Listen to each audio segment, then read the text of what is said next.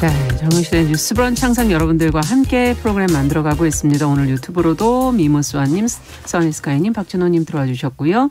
어, 콩으로는 김현옥님, 1852번님, 가연아님 이렇게 들어오셨습니다. 감사합니다. 자, 오늘도 뉴스픽으로 시작합니다. 화요일과 목요일은 이 두 분이 책임지고 계십니다. 국민의힘 신보라 전 의원 안녕하십니까? 네, 안녕하세요. 더불어민주당의 정은혜 전 의원 안녕하십니까? 네, 안녕하세요. 네. 자, 오늘은 김재원 의원 얘기를 좀 시작을 해보죠. 어, 민주당 지금 경선 선거인단으로 참여를 했고 또 지지자들에게도 이를 독려하면서 지금 논란이 일고 있는데 어떤 상황인지 아무래도 반대쪽에서 얘기해 주신 게 편하겠죠 정리를 네. 예 정은혜 전 의원께서 좀 해주시죠. 네, 그 김재원 국민의힘 최고위원이 더불어민주당의 대선 경선 선거인단으로 참여를 하고 이를 또 지지자들에게 독려한 사실이 있습니다. 네. 그 지난 11일 페이스북에 글을 올려서 민주당의 대선 주자들이 국민선거인단에 신청해 달라고 앞다투어 문자를 보내고 있다. 기꺼이 한 표 찍어드리려고 신청을 완료했다며 어, 모두 민주당 국민선거인단에 신청하셔서 정권 교체의 힘을 보태달라 이렇게 이렇게 좀 적어주셨습니다. 네. 김 최고위원의 이 같은 발언은 그 대선 후보 경선 과정에서 국민 여론조사 반영 비율을 높이면 역선택의 부작용이 생길 수 있다는 점을 우회적으로 지적한 것이 아니냐라는 분석이 있습니다. 음. 현재 국민의힘 당원에는 대통령 선거인단, 대의원 당원 50%, 여론조사 결과 50%를 반영해 대통령 후보를 선출하게 되어 있는데요. 네. 이 조항은 당내 지지 세력이 미미한 윤석열 전 검찰총장이나 최재현 전 감사원장 등 외부 주자들의 입당을 가로막는 장애물이 되고 있다는 지적을 받기도 하고 있습니다. 예. 그래서 국민의힘 내부에서는 그 최근 당내 기반이 부족한 장외 주자들이 불리하다는 이유로 당원 투표 비율을 낮추고 국민 여론조사 비율을 높여야 한다는 주장이 나온 바 있습니다. 음. 민주당 측은 이에 즉각 비판에 나섰습니다. 이소영 대변인은 어, 전날 오후 서면 브리핑을 통해서 다른 정당의 당내 경선에 개입하고 거짓과 역선택을 유도하는 것은 공직선거법에서도 제한하는 위법하고 부당한 행태라면서 결코 자시할 수 없다. 법률적 대응을 거- 적극 검토할 것이라고 했고요. 네. 또 이재명 캠프의 정진욱 부대변인도 같은 날 그 페이스북의 내용에 대해서 역선택을 조장하거나 선동하는 행위, 음. 역선택에 참가하는 행위도 즉각 중단하고 국민 눈높이에 맞는 선의의 경쟁에 나설 것을 요구한다고 했습니다. 네. 법률적 대응도 할 수 있다. 지금 그렇게 입장을 밝혔는데요. 자, 어떻게 보시는지 어, 신무라 전 의원께 먼저 말씀을 좀 들어보죠. 네, 어, 저는 경솔한 행동이었고 예. 부적절했다라고 평하고 음. 싶은데요. 어, 정치의 이런 조롱 섞인 행동이 야당 지도부가 특히나 하는 것은 좀 적절치 않아 보입니다. 음. 특히나 이제 역선택을 조장하거나 이런 선동하는 행위. 네. 어찌 보면 지금 여당이 주장하는 대로 불법. 음. 어, 그런데 저는 이제 불법은 아닐 수도 있지만 음. 타 당의 선거에 개입하는 식의 행동이 그렇죠. 올바른 정치처럼 느껴지지는 않습니다. 네. 그리고 그래서 국민의힘 당 내에서도 음. 비판의 목소리가 계속 나오고 있는 상황이고요. 언론에서는 이 같은 어떤 행위에 대해서 국민의힘 경선룰 논의를 겨냥한 내부용 전략이 아니냐 음. 어, 이런 평가도 내놓곤 있는데요. 네. 물론 김재원 최고위원이 당내 전략통이라는 평을 받고 있기는 합니다. 예. 하지만 이번 행동은 전략이라기보다는 저는 그렇죠. 모략에 가깝다. 네. 이렇게 좀 보고요. 네. 국민들은 정치에서 품격이나 젠틀을 바라고 계시는데 음. 어, 지금 국민의 국민의힘이 이준석 대표를 비롯해서 인물은 참신해졌다는 평을 받고 있는데 예. 행위가 구태라면 음. 누가 옹호를 해줄 수 있겠습니까? 음. 그리고 이준석 대표도 국민 선거인단 취지 자체가 지지자나 당원이 아닌 사람들의 의견도 듣겠다는 것인데 무엇이 문제냐라고 예. 옹호를 했어요. 예. 근데 저 제가 봤을 때는 엄밀히 따져서 다른 당의 구성원 음. 그리고 다른 당의 지도부가 어, 일반 국민은 아니지 않습니까? 그렇죠. 그래서 이런 행위를 치켜 세운 건 음. 반칙에 대해서 부정적인 그런 젊은 세대와의 시각과도 어울리지 음. 않는다 이렇게 말씀드리고 싶습니다. 네. 어쨌든 지금 어 여, 우리가 역, 역선택에 관한 부분도 조금 언급을 해야 될 것 같고 일단 김재원 의원 얘기 먼저 마무리하고 역선택에 관한 얘기도 해보죠. 네 네. 예. 일단 어, 이준석 대표가 어제 또 엄지척 이렇게 하면서 네. 김재원 최고위원의 행동을 그 화이트 해커다 뭐 이렇게 굉장히 좀 긍정적으로 좀 평가를 했어요. 예. 근데 우리 당에서는 오히려 이거 엑스맨이 아닌가 싶습니다. 음. 실제로 우리 국민 그 선거인단이 19대 대선 같은 경우는 23일간 143명이 참여를 했습니다. 근데 이번 경우 같은 경우는 5일간 76만 명이 참여를 했거든요. 예. 굉장히 많은 분들이 참여를 했고 이게 저희가 지금 1차 선거인단이었어요. 그래서 앞으로 그 7월 16일부터 2차 선거인단 모집이 있고요. 아. 또 8월에 3차 선거인단 모집이 있습니다. 다 따로 모집을 합니까 이거를? 네네. 그 세 번의 선거인단을 따로 모집하고요. 음. 그 따로 모집한 1, 2, 3차의 그 투표 결과를 또 세 번에 나눠서 발표를 합니다. 아. 그래서 아마도 우리가 뭐 슈퍼 위크라고 해서 8월에는 그 세 번의 좀 중요한 모먼트가 있을 것 같은데 어 그렇 다면 지금 있는 선거인단의 당원 또 예. 추가로 이제 선거인단까지 하면 한 200만 명 이상이 예. 아마도 선거인단에 참여하실 것 같게 되고요. 근데 지금 그 김재현 의원이 좀 문제가 많아요. 보니까 지난 총선에서도 당시에 그 자유한국당 컷오프 여론조사에서 예. 지지 정당에 대한 거짓 응답을 유도하는 문자를 대량으로 발송을 해서 음. 또 선거법 위반 논란을 불러 일으키기도 했습니다. 네. 그래서 지금 또 당의 지도부고 최고위원인데 저는 이분이 그 국민의 힘을 생각해서 얘기를 한 것인지 음. 아니면 더불어민주당의 선거 인단을 늘리기 위한 것인지 저는 사실 잘 모르겠어요. 그래서 음. 일단 본인이 지도부의 위치에 있는 것만 큼 음. 어떤 뭐 선거에 부당하게 개입하거나 뭐 그런 것보다도 어 본인이 좀 지금 위치를 좀 잘 찾았으면 하는 바람이 있습니다. 네. 저 그러면 저희는 어 역선택의 우려에 대해서도 한번 좀 음. 어, 서로 얘기를 해보죠. 지금 뭐 여론조사 비율과 당원 투표 비율을 놓고 이제 당내에서도 서로 좀 다른 입장들이 있을 것 같고 그건 어느 당이나 사실 마찬가지가 아닐까 하는 생각이 들고요. 어 신보라 의원께서 먼저 좀 얘기를 해주시겠어요? 네. 대체적으로 뭐 이제 이제 이제는 대선 후보 경선 여론조사를 앞두고 있기 때문에 네. 어, 각 당에서 이 여론조사 비율을 당원과 국민 비율을 어떻게 할 거냐. 네. 어, 이런 부분에 대한 논의가 계속 있을 건데요. 또 후보들마다 그 입장이 다르겠죠. 예. 근데 이게 두 가지 부분에 뭐 우려 뭐 이런 논의가 있는 것 같아요. 하나는 이제 어 역선택의 우려가 예. 있고 그다음에 이제 당신과 민심의 괴리 문제를 어떻게 뭐볼 그렇죠. 거냐 이 두 가지가 있는 것 같습니다. 네. 근데 이제 어 국민의힘 같은 경우는 지난 서울시장, 부산시장 그 재보궐 선거 때는 국민 여론조사 100%로 선출을 하되 예. 역선택 방지 조항도 그때는 없었습니다. 아 그랬습니까? 예. 그래서 역선택 방지 조항 없이 국민 여론조사 100%로 선출을 했고요. 예. 어, 최근에 있었던 전당대회 때는 당원 비율이 70%, 국민 여론조사 비율이 30%. 음. 그 비율이 돼 역선택 방지 조항을 넣었습니다. 네. 어떤 방지 조항이냐면 예. 지지 정당을 묻는 말에 국민의힘이나 지지 정당 없음을 선택해야 다음 음. 설문으로 넘어가는 유효 득표로 환산이 되는 방식인 거죠. 네. 그래서 저는 당시 전당대 때만 보더라도 당원 반영 비율이 70, 국민 비율이 30이었지만 당원 투표 국민 민심이 크게 다르지 않았기 때문에 이준석 당대표가 이제 선출된 거거든요. 네. 그래서 현재 지금 대선과 관련한 경선은 어 당원 당규 상에서는 당원 투표 50, 음. 일반 국민 투표 50으로 결정이 됩니다. 네. 그래서 만약 당원 당규를 어, 개정을 해야만 실은 여론조사 비율은 아, 이제 조정할 수 있기 때문에 그렇군요. 어, 이거 관련한 논의가 추후 있겠지만 예. 당원 투표가 국민 투표에 비해서 민심을 왜곡할 수 있다라고 하는 부분은 조금 기울 수 있다 저는 음. 이렇게 보고요. 다만 이번 대선 같은 경우에는 음.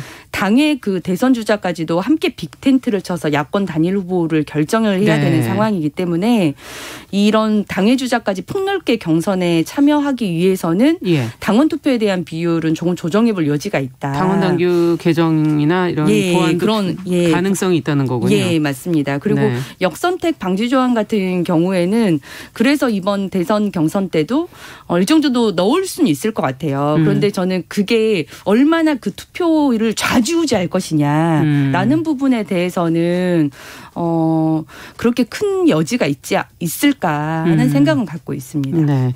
어떻게 돼 있나요? 지금 더불어민주당 쪽에는 네. 이 역선택의 방지 조항 지금 말씀해 주신 조항들이 없었나요, 이번에? 네, 저희는 뭐 그런 조항이 지금 따로 있기보다는 음. 지금 저희도 이제 일반 국민 50, 그다음에 음. 당원 50 이렇게 되어 있는데 이제 국민 선거인단들이 굉장히 또 많이 신청을 해 주셨고 예. 어, 실제로 지난 19대 대통령 선거에서도 어, 거의 비슷한 방식으로 이제 운영이 됐었고 그래서 이제 무난하게 이제 음. 당에서 그리고 국민이 원하는 후보가 대통령 후보가 되었었고요.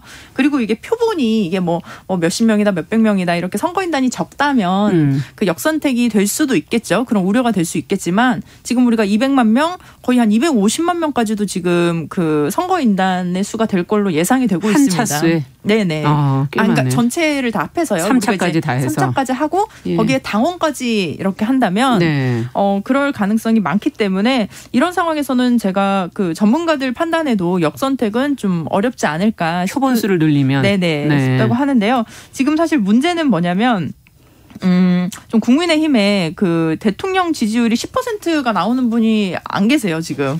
음. 후보로. 근데 지금 우리 당 같은 경우는 거의 1, 2위 후보의 지지율을 합한다면 사실은 40% 이상, 음. 그러면 50% 가까이 나오게 되는데 이런 상황에서는 사실 우리 당 같은 경우는 어, 정말 당이 원하는 그러니까 음. 당원이 원하고 국민이 원하는 후보가 선출될 가능성이 굉장히 높습니다. 음. 근데 반대로 국민의힘 같은 경우는 지금 아마 굉장히 고심이 좀 있을 것 같아요. 왜냐하면 음. 지금 당내 주자가 없기 때문에 외부의 분들이 이게 지금 윤석열도 그렇고 최재형 감사위원장도 그렇고 외부에 있기 때문에 그 지지율을 유지하는 거거든요. 네. 근데 아마 당으로 들어오는 순간 당내 집중 공격이 시작될 것이고 음. 그리고 또 홍준표 의원이나 유승민 의원 같은 분들이 이제 좀 준비를 하시면서 또 어떤 뭐 네거티브나 이런 것도 있다 보면 당내 지지율이 또 약간 떨어질 수가 있거든요. 국민적 음. 지지율도 떨어질 수 있고 그렇다면 당내 선거에서도 그 경선에서 어 좀 승리하기가 굉장히 어려운 상황인데 이런 부분에 있어서 국민의힘 내부에서도 지금 보면 여론조사 비율을 늘리자고 하는 거죠. 그렇기 예. 때문에 일반 국민의 그 참여를 늘리자고 하는 것인데 사실 이게 내부 싸움이 좀 쉽지 않을 것 같습니다. 예. 기존 당원분들과 음. 또 외부에 있는 분들 뭐 이런 것들이 좀 갈등이 오히려 더 가속화되는 것이 아닌가. 그래서 지금 그 김재섭 국민의힘 전 비상대책위원도 SNS를 통해서 예.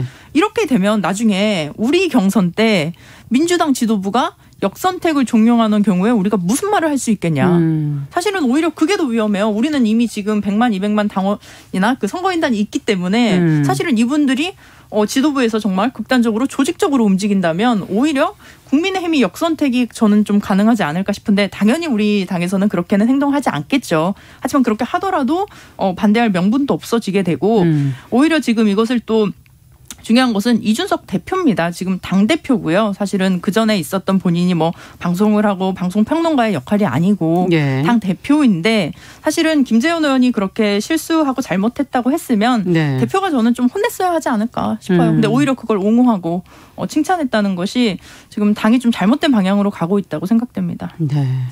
마지막으로 신보라 의원께서는 어떻게 생각하시는지 네. 당내 주자 네. 뭐 아까 말씀해주신 민심과 당심의 괴리 뭐 네. 이런 부분을 지금 지적을 해주셨는데요. 네. 어쨌든 당의 주자분들도 있고 당내 지금 주자분들도 그렇죠. 계시는데 우리는 아직 경선을 시작하지 않았고 음. 실은 민주당도 이제 경선을 시작하고 나서 이 주자가 조금 더 부각되고 예. 있는 상황이 오고 있지 않습니까? 네. 그런 것처럼 어 국민의힘도 실제 이제 경선이 시작되고 알죠. 나면 네. 그 어, 지지율이 조금 낮은 후보들의 약진도 아마 음. 두드러질 것이다라고 생각을 하고요. 다만 이제 당의 주자들이 많이 계시기 때문에 예. 어, 이분들이 폭넓게 경선에 참여하기 위해서는 일정 정도 기득권으로 조금 비춰질 수 있는 당원 투표에 대해서는 음. 좀 일정 정도 조정해볼 요지가 충분히 있다라고 음. 보여집니다. 네. 자, 앞으로도 뭐 선거 관련해서 이제 경선 관련해서 여러 가지 소식들이 나올 것이기 때문에 어 양쪽 당의 입장에서 어 조금 더 자세한 내용을 좀 계속 전달해 주시기 바랍니다. 자, 두 번째 뉴스로 좀 가보죠. 어 대학 수학 능력 시험 9월 모의 평가에 지금 어른들이 대거 접수를 하면서 허수 지원이 쏟아지고 있다 지금 이런 보도가 지금 나오고 있어요. 이게 무슨 이유인가 했더니 백신 때문이라고 하는데 무슨 일이 도대체 벌어지고 있는 건지 관련 내용 신보라 의원께서 좀 정리해 주시겠어요? 네. 정부가 수능 9월 모의평가 응시자에 네. 대해서 이 코로나 감염증 백신을 우선 접종하기로 했는데요. 네. 이 모의평가를 위해 출신 학교에 응시원서를 낸 졸업생이 서울에서만 약 1만 명가량 폭증한 것으로 나타났습니다. 아. 9월 모의평가는 시험실 응시와 함께 네. 어, 시험실 응시와 함께 온라인 응시를 별도로 신청을 받았는데요. 어. 교육부는 지난 5일 발표에서 응시 방법과 상관없이 예. 응시 원서를 내면 수험생 자격으로 8월 중 화이자 백신을 맞게 된다고 밝힌 바 있습니다. 예. 또한 수능 방역 강화를 위해서 미리 고3뿐만이 아니라 졸업생 응시자도 그렇죠. 우선 접종 대상에. 포함을 예. 하기로 했는데요. 네.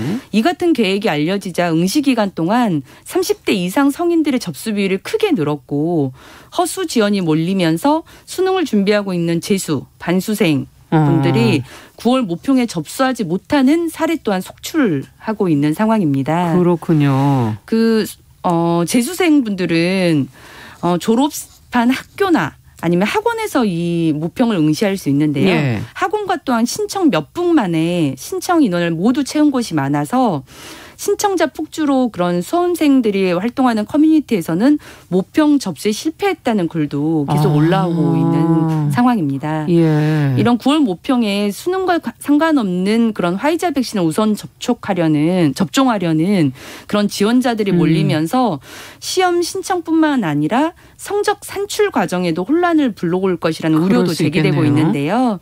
그 공부의 신 유튜브를 운영하는 강성태 대표는 재수생들이 정작 시험을 원하는 곳에서 못 보고 신청 가능한 학원을 찾아 헤매고 있다. 음. 평가원이 제대로 된 수능 난이도 측정이 불가능하다 라고 지적하기도 했습니다. 교육부는 이 응시 기회를 잃는 부작용을 막기 위해서 학교와 학원에서 시험실을 추가로 확보하고 있다고 말하고 있고요. 예. 원하는 경우 시험실 응시를 100% 보장하겠다고 강조했습니다. 음. 다만 지금 학교 현장에서도 과부하를 과부하를 호소하고 있는 데다 학원에서도 공간 등의 문제로 이 비재원생 응시를 늘리기 어려운 아. 상황이라 우려가 커지고 있는 실정입니다. 네. 당장 지금 수능을 앞둔 안 그래도 코로나로 지금 고3 수험생들 뭐 재수생들 다들 힘든 시기를 지금 보내고 있을 텐데 또 백신 문제로 인해서 이런 또 피해를 보게 된다는 게 어른들이 과연 이건 무슨 모습을 보여주는 건가 하는 생각도 들고 네.